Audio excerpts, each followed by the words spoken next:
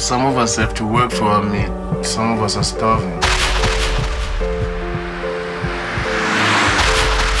I think I've got a plan. We go out there and we make some real money.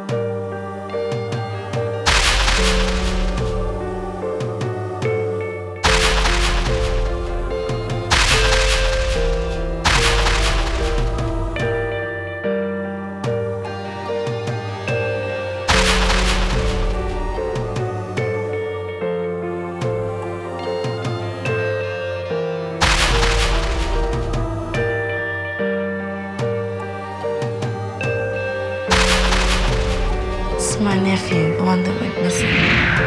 Just find him for us. You must be prepared to sacrifice your freedom for his. You better explain everything, otherwise, no one's gonna be money. This all started with you. We have each other. What do we have now, huh? What?